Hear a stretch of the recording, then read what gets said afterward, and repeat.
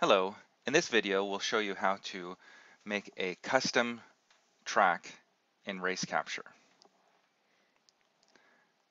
To start, launch the Race Capture app and navigate to the configuration view.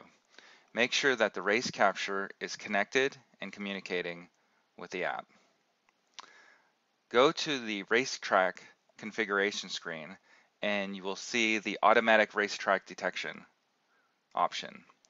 Normally, you can use race capture to specify your favorite racetracks for automatic configuration. When in automatic configuration mode, race capture will look for the nearest racetrack. And if you have a racetrack in your location, it will automatically select that and configure the start finish line, sector points, and other settings.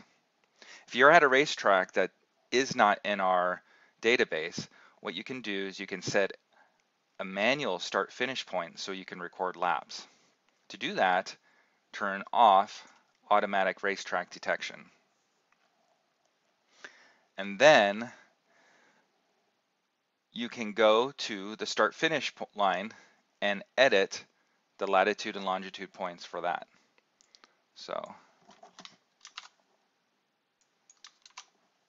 I am entering start finish point for Sonoma Raceway, even though that's in our track database, I'm using this as an example.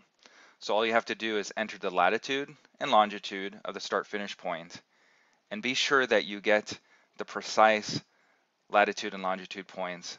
The best way to do it is to just use Google Maps, navigate, or find the racetrack that you that you want or the location on the earth where your start finish point is and then just zoom in as much as possible and get the exact point on the map.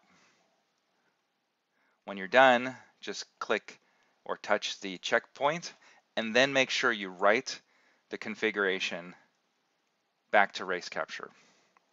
Once you do that, you'll see in the top bar that race capture is using a user-defined track. So you'll see that at the top. If you need separate start finish lines, you can enable that option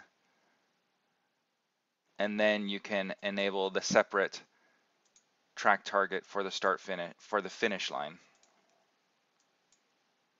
If you want to define sector points, define them in the order that the vehicle will travel along the course.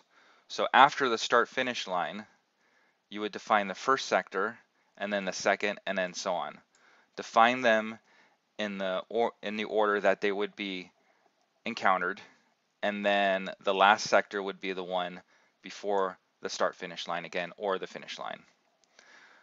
If you are in the vehicle and you roll up to the start finish line, what you can do also do is press the green target which will pull the GPS coordinates from race capture and automatically populate it.